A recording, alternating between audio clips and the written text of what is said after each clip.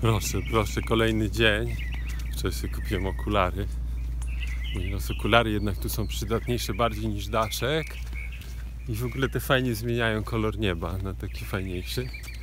Kolejny dzień. O, konie są, konie są, pokażę konie. Yucatan, czyli ten półwysep Yucatanu, to jest kultura hamaków. Oni mają, pokażę później, jak już dostanę hamak, bo dzisiaj sobie załatwiam.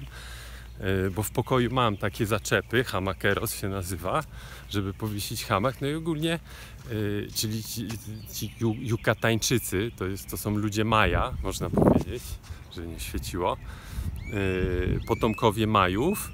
No i oni śpią w hamakach, ponieważ tu jest klimat taki, że oni często śpią, po prostu budują jakiś dach, wieszają tam hamaki i tam żyją. Nawet w domach mają hamaki, u nich jakby materace, łóżka i tak dalej. W tym klimacie, który jest bardzo ciepły, bardzo wilgotny, to to się nie sprawdza. Hamak jest idealny. Ja tutaj te trzy miesiące, jak byłem kiedyś, to spałem trzy miesiące po prostu w hamaku.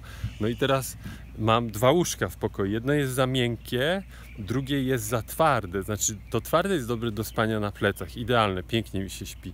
To drugie jest idealne do spania na boku. No i są zawieszki, że mogę hamak powiesić, więc dzisiaj poprosiłem, żeby mi dali hamak. Będę mieć hamak, będę mieć trzy opcje, gdzie śpię. Idealnie. Dzisiaj też załatwiać będę rower. O, i są koniki. O, mają przerwę, mają wolne, no bo nie ma turystów, nie muszą biegać z obciążeniem po gorącej plaży. Nie.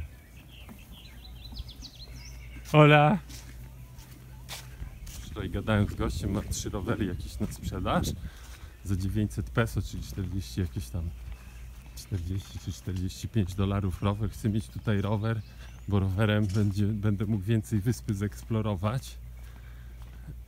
No i rower, ja lubię rower, szczególnie po płaskim. Będę mógł jeszcze więcej Wam pokazać wyspy.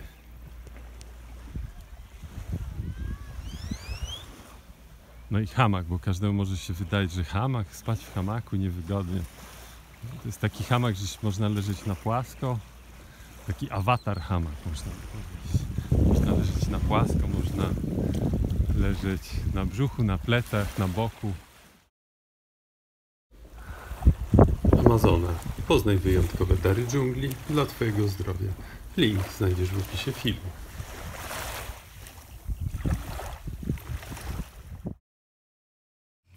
Tam to jest lotnisko, a tutaj jest ten taki ryneczek, można powiedzieć.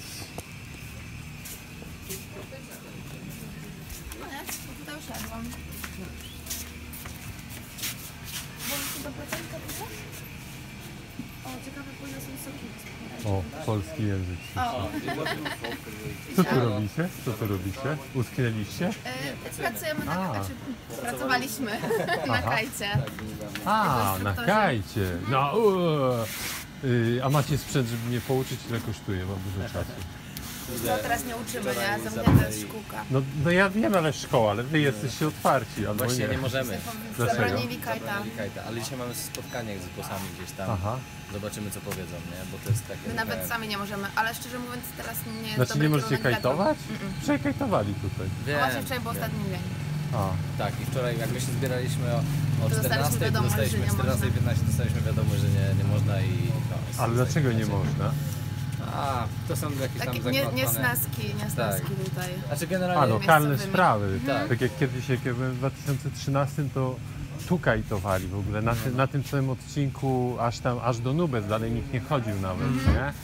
No i oni też zabronili, tylko tam chodziło o to, że po prostu płaszczki były zabijane, nie? A, Mhm. No. na kajcie? Y, tym, tym, nie wiem jak to się nazywa. No, no i się trafiały po prostu, że płaszczki były przycięte i oni A, że się nie zgadzają. No, bo wi- widziałem, Jak byłem wtedy 2013 widziałem. wojna? Co ty? Tak, oczywiście.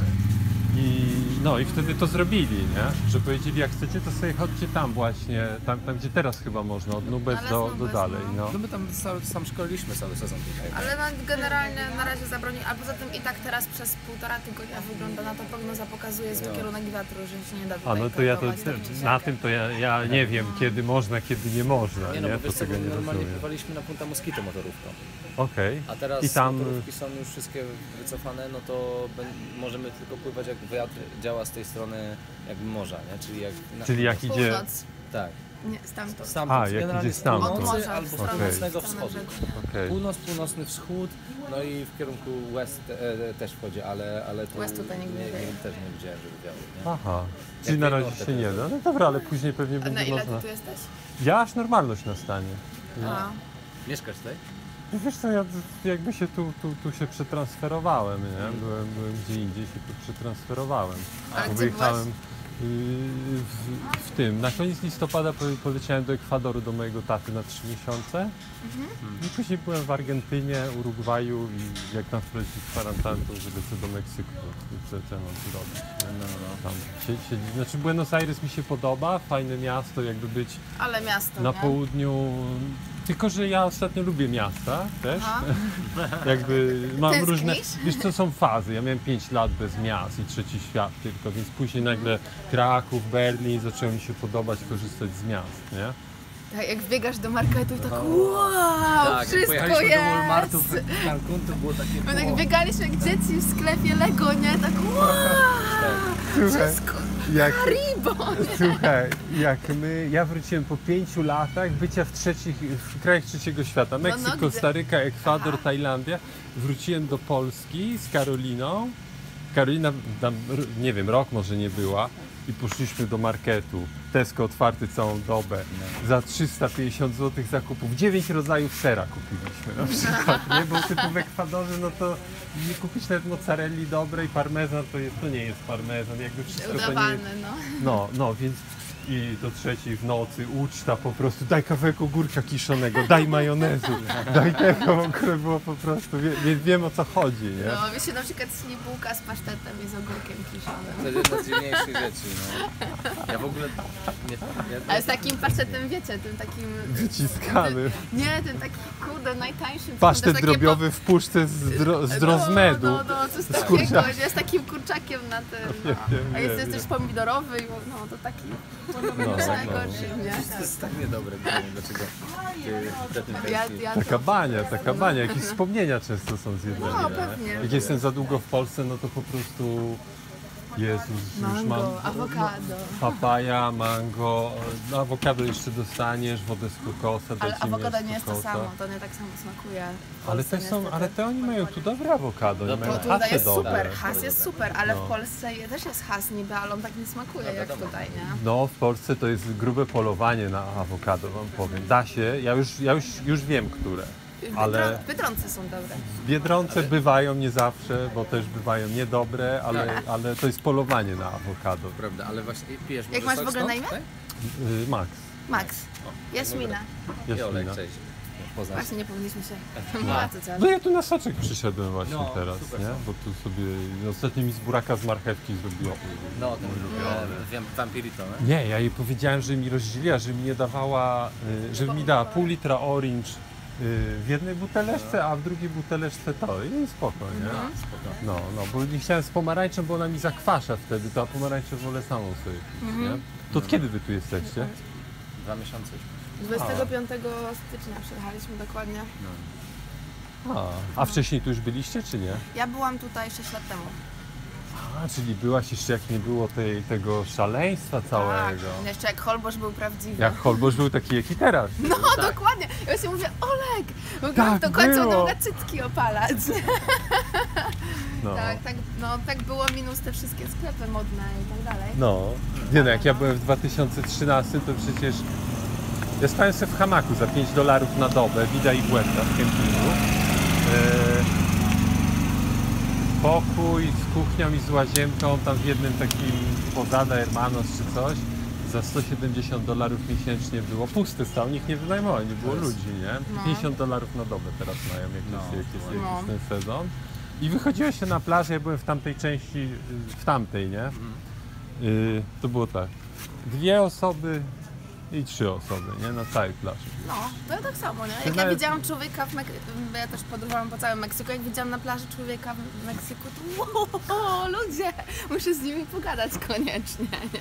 Bo dawno z nikim nie rozmawiałam. Także no, No. zmieniło się troszkę. No teraz znowu będzie to samo. No teraz tak, tak, tak. ciekawa. Dlatego ja stwierdziłem, tutaj ja mogę czekać. Mówię, I co, wynająłeś sobie mogę- mieszkanie na dłużej? Wiesz co, co? tak, ja wziąłem w Las Sirenas, Mhm. Casa Sirenas i tam jest na, na, na, na grupie znalazłem, na szybko, nie? Bo teraz to pewnie jeszcze taniej można, bo już widziałem na głównej, jedni wystawili wczoraj, już spotykasz, habitación 100 peso, nie? Tak? Chyba wyciągnęli w ogóle, mówię, o, ceny wróciły do normalnych, jak było Naprawdę? kiedyś, tak. Ze 100 peso? Za 100 peso. Ja w ogóle taniej niż w tym, niż w Puerto Escondido. No. No, no nie no, My wtedy tyle płaciliśmy, bo chodziło dokładnie 100 peso za dzień. Ja nie? pamiętam, że jak ja byłam te, te właśnie 6 lat temu, to ja płaciłam za hostel 30 zł za dobę. no to A teraz jest 7 dolarów, nie? Teraz jest A teraz? e, jakieś 15, nie? 100? Wisi hamaczek. Tu są te takie zawieszki specjalne. No, haczyki, to jest hamak, no i ten hamak wygląda w taki sposób. To jest taka po prostu bardzo duża siatka.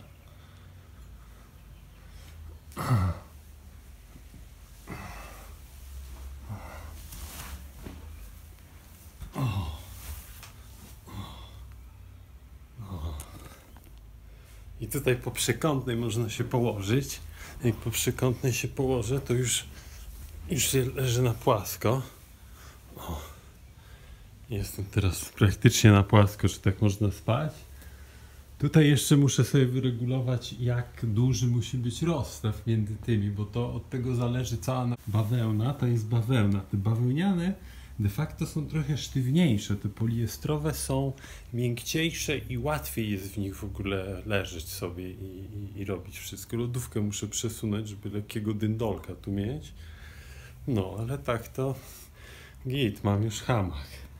No i to też jest część mojego całego planu, hamak. Hamak jest częścią planu, e, częścią zestawu survivalowego. Proszę, to jest mój zestaw survivalowy, czyli będzie tak. Dwie linki do wieszania hamaka. Ten hamak, brakuje mi moskitiery do hamaka, który jest, jest kurna kompletnie kluczowa, ponieważ tam będą czakiste, komary wiadomo, ale będą czakiste, czyli te meszki. I z tymi meszkami nie chcę się dealować całą noc i tak dalej. To jest za dużo. Mniej może być. Kiedyś opowiem o czakiste, o tych meszkach. I teraz czakiste są hipermałe. Moskityra jest zupełnie inna niż zwykła moskityra. Jakby przez, tą, prze, przez ten screen tutaj, nie wiem, no, taki typowy, to, to, to te wszystkie czakiste przechodzą, dlatego ja nie wiem, co tutaj to robi. Można strasznie ciepnąć. Dobra, czyli i dzisiaj będę oglądać jedną moskitierę. Dałem też, też ogłoszenie na grupie tutaj, czy ktoś ma moskitierę. Dalej linka, bo zawsze może się przydać. Mikromaczeta, która idealnie według mnie się sprawdzi do odcinania kokosów, rozłupywania ich. Nóż, bo wiadomo, zresztą tak naprawdę to tym nożem też kokosa da radę otworzyć, tylko raczej dość szybko by się stępił. Łyżka, między innymi do wyciągania miąższu. Następnie, to są zatyczki do uszu. Jak ja się w wodzie kąpię, to po prostu wkładam te zatyczki, bo wtedy, wtedy nie mam problemu z, z jednym uchem, z którym normalnie mam problem, bo tam ono ma taki jakiś kształt w środku, tam, że tam zawsze zostaje trochę wody i później powstaje problem, tam się to, to wysycha, ale sól zostaje i to się robi jakby takie zaognione od tej soli i tak dalej. Okulary, wiadomo, daszek musi być. Później tu mam coś takiego, ale muszę sobie kupić jeszcze wazelinę na wargi przede wszystkim. Yy, następnie Nutella. Nutella, wiadomo, bez Nutelli człowiek nie ma szans żyć. To jest wyjątkowa Nutella, to jest Nutella Tehacella, czyli miks po prostu yy, wyekstrakowany w sposób domowy THC z trawy z tłuszczem kokosowym wymieszany z nutellą, kakao i coś jeszcze. Idealnie dlaczego Nutella? Kakao uruchamia dobrze wątrobę, plus kakao ma też cannabidoile, te, także dobrze się łączy. I później jedna z ważniejszych medicin to jest ten proszek, to jest popiół. To jest po prostu popiół drzewny z pizzerii. Yy, to jest tak uniwersalne, że to trzeba mieć ze sobą według mnie na survivalu. No zapalniczka będzie. Będziemy mieć zapalniczkę. Dorzucimy zapalniczkę. Może dwie nawet zapalniczki. Nie mam, chciałem charger solarny mieć do telefonu, który miałem, ale przestał działać. y, bo to by mi się tam przydało, bo ja tam raczej w jednym miejscu na Punta Mosquito, gdzie jest ta wieża, tam będę ten net mógł łapać, więc to by mi się przydało, żeby wiedzieć what the fuck is happening. A, no właśnie, dlaczego ja bym tam się wybierać miał w ogóle na survival? No bo jeśli tu zrobią za duży bullshit, a już dzisiaj wprowadzają godzinę policyjną od 22, nie wiadomo do której, no to, no to ja się wtedy tam transmituję. A tam jedzenie jest z kokosów, woda z kokosów, przypływają algi, y, które są bardzo dobre, są jak pływająca sałata, po prostu już osolona. No i dzisiaj moskitierę załatwiam i ta zasłona prysznicowa, no to to służy po prostu do tego, że jeśli by deszcz padał, to nad hamakiem, nad tą moskitierą mogę tu powiesić, mogę się osłonić od wiatru, jakby za mocno wiały, co jest bardzo istotne będąc na plaży.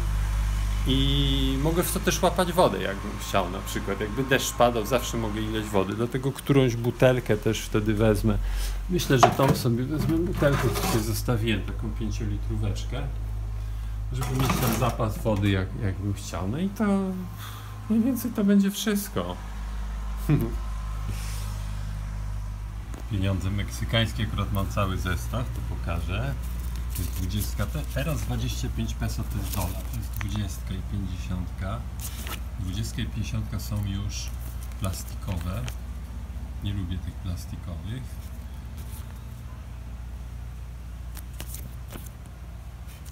Seteczka z jakimś takim wojownikiem, nie wiem, tutaj yy, Nezamulokojot. To jest jakiś ich stary pewnie wojownik, myślę. Bo tutaj też jest jakieś ich stare jakieś ich stare miasto, Majów zapewne. Tu jakaś, jakaś ta Juana de Asbache, nie wiem, ci była wygląda poezja z liryka, z poetka jakąś, czyli i z tyłu coś takiego. Tu jest Hacienda de Panoja, Panowan. No i 500 mi się najbardziej podoba, bo to jest, nie wiem, na ilu banknotach najwyższych są w ogóle artyści. To jest Diego Riviera. Rivera. A z drugiej strony jest Frida. Takie rzeczy. Takie rzeczy. Taki sobie domek. I tutaj pani miała chciałem u niej kupić właśnie dwie rzeczy. Jeden to takie prześcieradło bawełniane fajne miała. I wczoraj mi się chciało iść. I, I tą taką zasłonkę do prysznica zawsze mogę zdjąć tą co mam. I podobno nie ma drugiego sklepu, który by cokolwiek takiego miał, nie? Jak nie wiadomo kto, kto, kto wydruki kolorowe robi, nie wiadomo, a ta zamknęła wróci za miesiąc, czyli zwiała po prostu. Sklepik z ceramiką. Szkoda, zamknięty.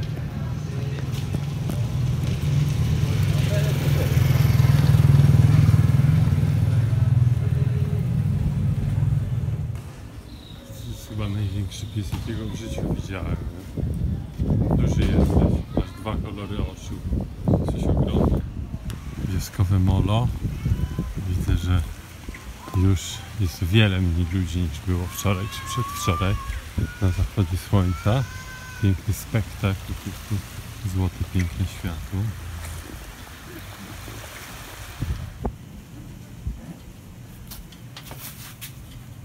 Robimy z dwóch rowerów, robimy jeden rower z pomocą Eduarda, magii Magii. miejscowych od rowerów.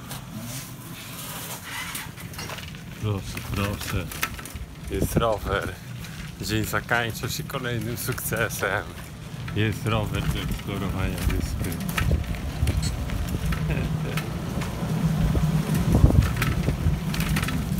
Rower jest fajny, rower w ogóle zmienia vibe.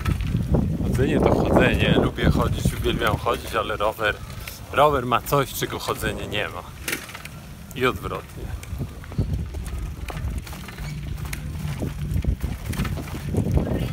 Tak to wygląda. Wyspowy rumak teraz. Amazona, dary dżungli. Link znajdziesz w opisie filmu.